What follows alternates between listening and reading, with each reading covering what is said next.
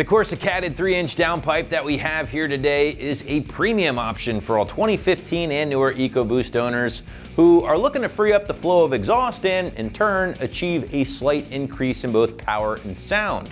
Now the Corsa is going to deliver that quality 304 grade stainless steel throughout, including your 3-inch mandrel bent tubing and high flow cat, and does need to be used with a corresponding 3-inch catback for proper fitment. This will not fit a factory style catback connection.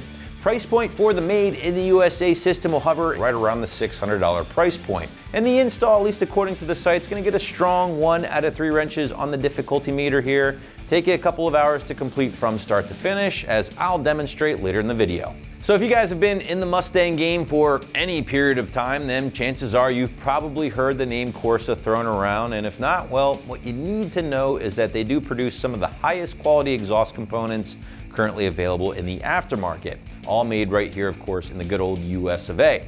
But what do you say we get to what you guys want to talk about more? And that, of course, is power and sound. Now, first up, let's talk sound. And as you heard with our sound clips at the very top of this video, you're really not gaining a whole lot in regards to volume with the factory catback in place. So whipping out my highly scientific wake the neighbor scale. I'm gonna go soft two out of five here guys, out of my one to five or one to wake the neighbor scale.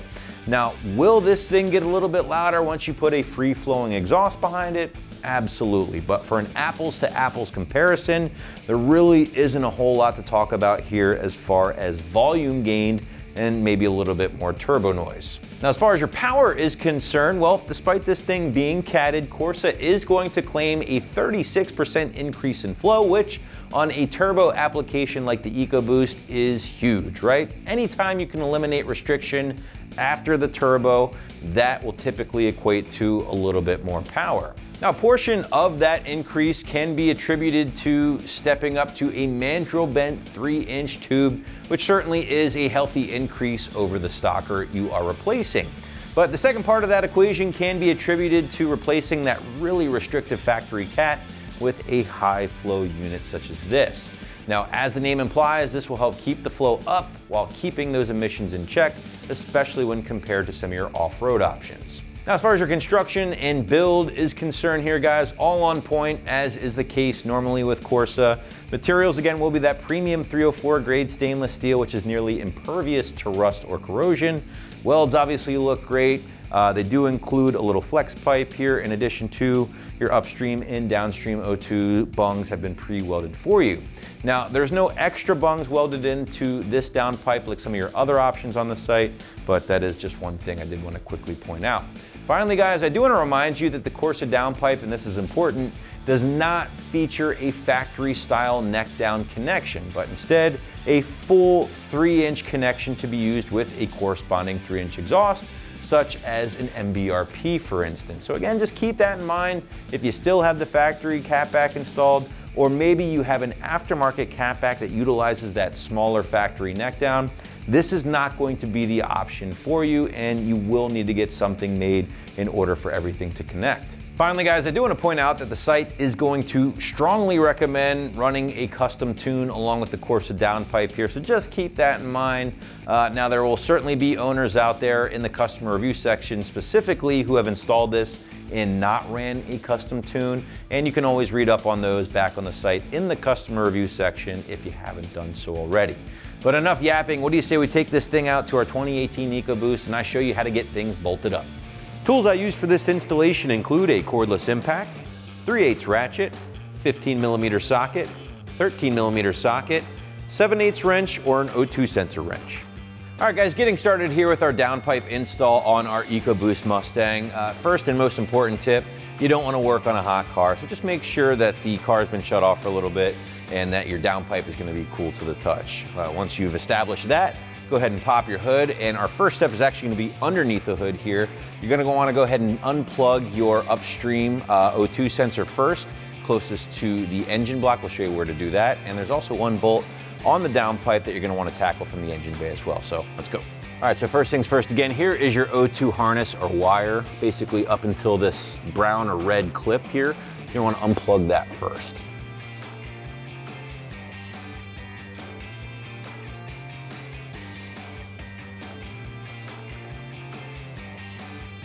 Once you have that in plug, just make sure it doesn't get hung up on anything because that's gonna be dropping out. Now before we get underneath the car, I found it's much easier to tackle this uh, right side or passenger side turbo flange bolt, basically where the downpipe meets your factory turbo. So I'm gonna tackle that right now with my 15 millimeter socket, and then we'll get the car up in the air and tackle the other bolt next.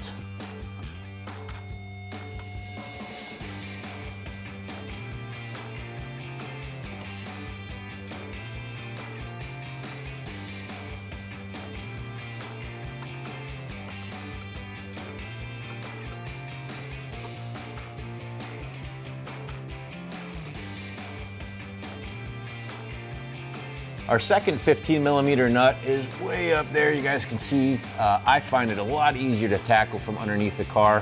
Um, basically 15 millimeter socket, a long ratchet if you have one. If not, use what you got.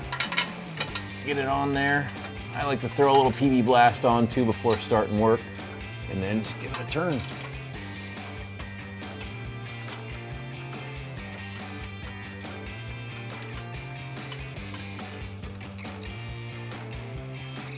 Don't worry about the downpipe falling on you. There is a bracket holding it to the engine and transmission. Just make sure you don't drop your bolt.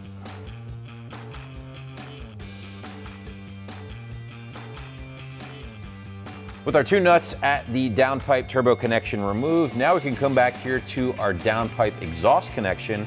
We're gonna stick with our 15 millimeter socket and remove these two nuts next.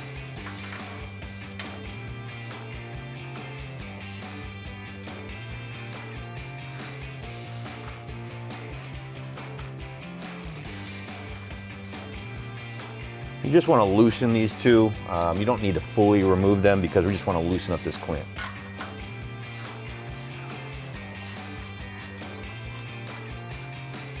Then we're just kind of loosening the bolts here, or the nuts, we're not fully removing them, because basically we want to loosen this clamp and be able to slide that back. All right, with our two exhaust clamp bolts loosened, uh, at this point now we need to get the downpipe out of our rubber hanger here.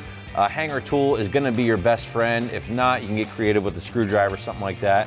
I always like giving this little shot of either, you know, lithium grease, WD-40, anything to just kind of lube that up a little bit, just make the removal a little easier.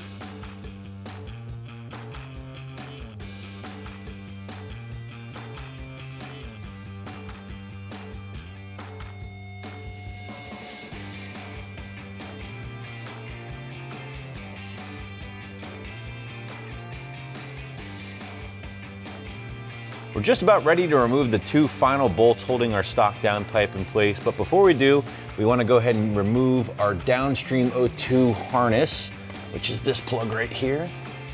Let's go ahead unplug that. There is a metal clip that secures it to the transmission. You can just give it a little tug and let that kind of swing. Last but not least, again, these two 13 millimeter bolts right here, guys, that's securing this bracket to your factory downpipe, of course, to the transmission. So make sure when you're removing these that you have a good hand on the downpipe because it will come down.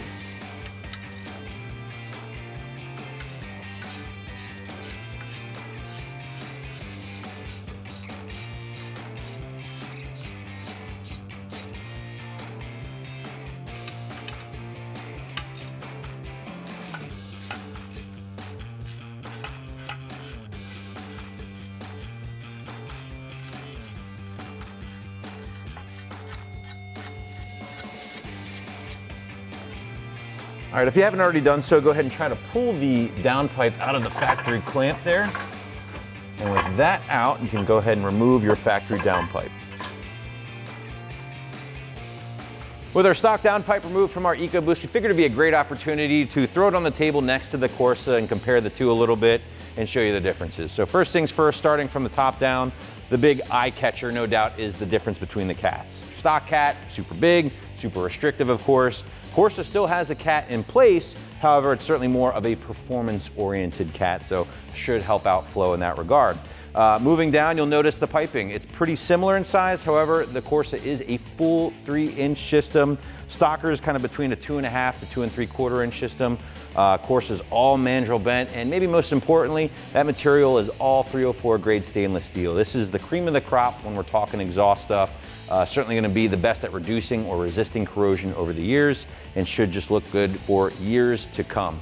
Uh, flex pipe is still in place as is the stocker over here as you can see. this kind of squishes down, almost a crush bend towards the end. And the biggest difference, while I have this in my hand, is gonna be the exit. Corsa is a full three inch system. Again, there is no neck down with that system. And as such, you do have to use it with a three inch catback, As I pointed out earlier, the factory exhaust connection is puny. It almost is about two and a quarter inches altogether. So that's a big choke point for the stock downpipe. Uh, especially when we're talking about going into a stock catback with a restrictive uh, resonator and so forth. So uh, basically the word of the day here is free flowing, I would say with the Corsa. There is, between the cat and the mandrel bent design, three inch tubing, it should be a lot better flowing compared to your uber restrictive factory downpipe. So now that you know some of the differences between the two, let's show you a few things you have to transfer over and then get the Corsa installed. Now we need to work on transferring over a couple of very important things to our new Corsa downpipe, starting with our O2 sensors. Uh, very important that these stay in the same orientation, so you're upstream and downstream. You don't want to flip-flop these two because then your car will simply not run right. Uh, to do so, we have our O2 wrench, as you can see right here. Next up, we're just going to remove these O2 sensors and then this bracket, which will get transferred over next.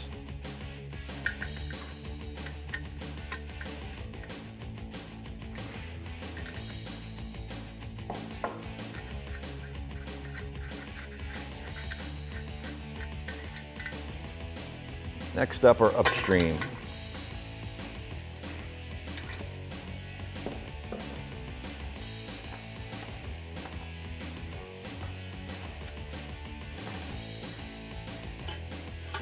Last part we need to transfer over is this bracket, which will secure our new Corsa downpipe to the transmission, just like it did for our factory downpipe. So 13 millimeter nuts, grab your socket and remove this next.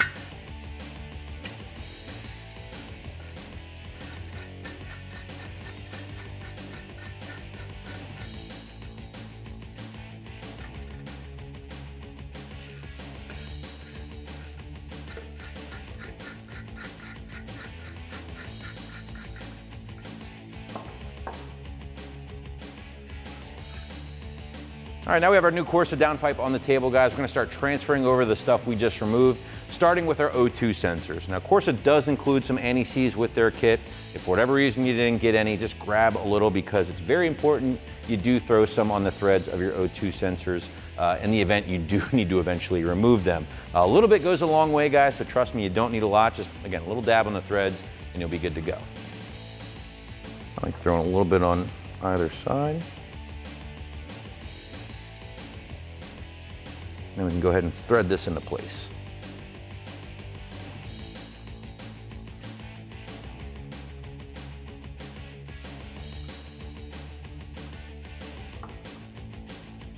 Next up we have our downstream O2 sensor. And just a little bit is really all you need here.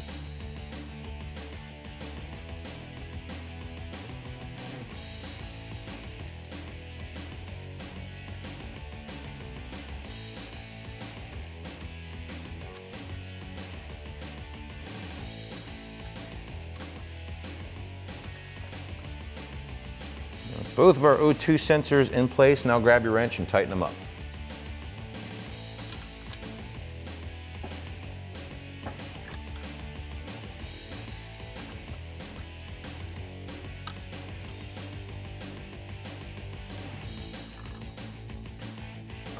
With our O2s in place, now we're gonna grab the support bracket here and get that installed onto our new Corsa downpipe.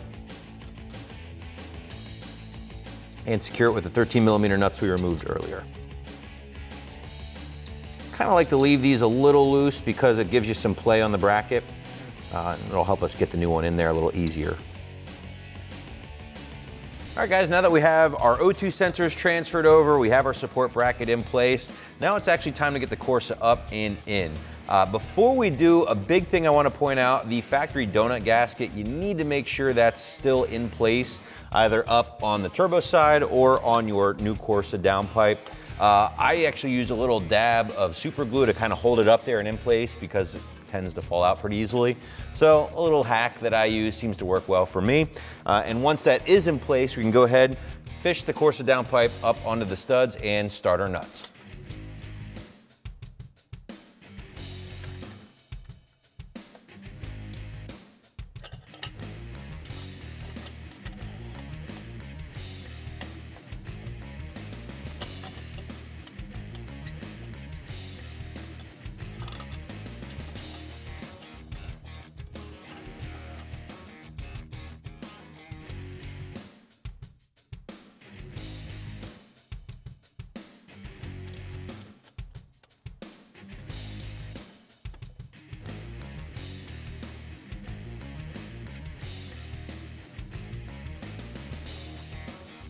I like to get these two nuts started finger tight. And before we tighten these down, we'll come back to our support bracket and get those bolts in place as well. With our two nuts finger tight up top there, we're gonna go ahead and install our two 13 millimeter bolts down here at the bracket. Uh, I like getting these in and snug, but not overly tight yet. If you leave them a little loose, it does give you some flexibility with the system. So just get them started and we'll tighten them up later.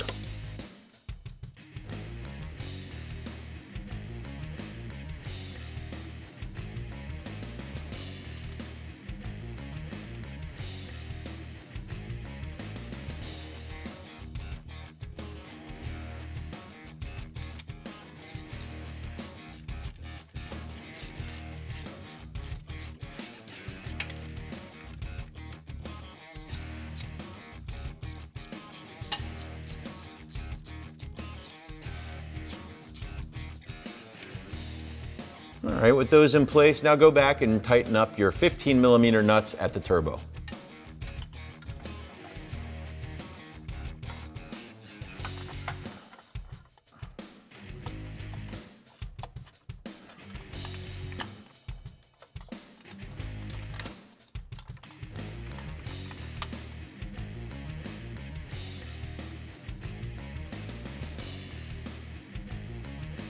The two nuts tightened up at the turbo, go ahead back to your two 13 millimeter bolts right here and finally snug those guys up as well.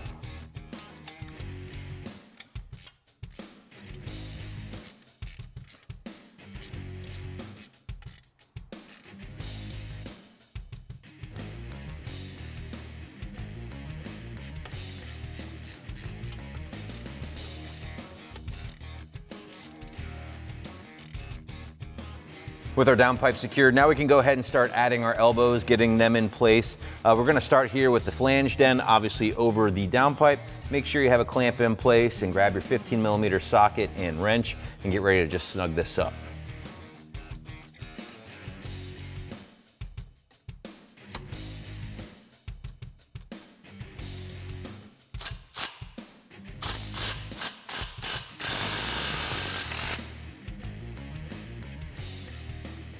Leaving that a little loose. So again, we have some, uh, some play here in the piping we hook up our final piece. All right, guys, at this point, if you are installing the Corsa downpipe with your full three inch exhaust system, you would use the included three inch adapter. But again, since we are hooking this up to our factory exhaust, we do have the additional uh, conversion pipe here or adapter that we're gonna use to connect to our factory catback. So let's get that in place now.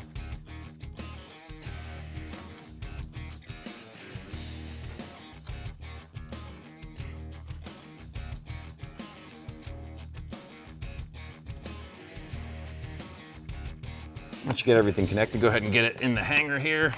You can do this step first if you'd rather. With everything in place, go ahead and tighten up your clamps with your 15 millimeter socket and wrench.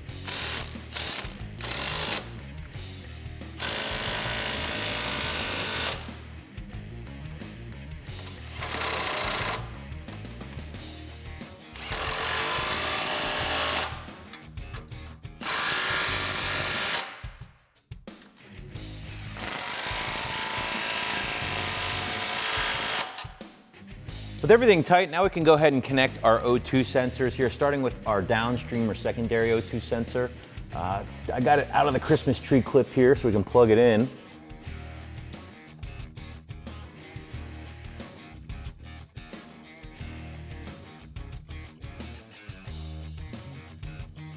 Once it's plugged in, go ahead and re-secure the Christmas tree clip.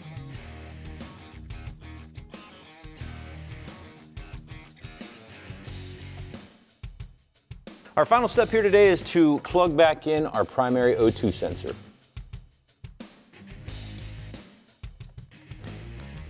All right, with that connected, that's gonna wrap up the install here, guys. After you get everything done, never a bad idea to fire the car up, listen for any exhaust leaks, make sure there's no issues. And after a few hundred miles, it's also not a bad idea to get back underneath the car, check your clamps, make sure everything is still nice and tight.